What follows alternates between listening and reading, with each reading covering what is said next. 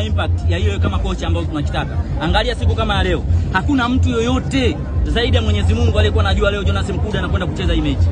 Mimi mwenyewe nilikuwa nimekaa na, mash, na mashabiki wa Yanga nguli, kila mtu alikuwa anashika kichwa. Lakini nini maana ya kocha? Kocha na CV zake anajua huyu nikimweka pale atakwenda kunipa kitu fulani. Hakuna mtu ambaye aliamini leo kwa kiwango ambacho Jonas Mkude amekwenda kuionyesha. Ibrahim Baka anakwenda kumzimisha kabisa Peter Shalulile, anapaka anaomba mwenyewe sababu nje. Ni jinsi gani unaona kabisa kwamba wachezaji wetu wana quality kubwa.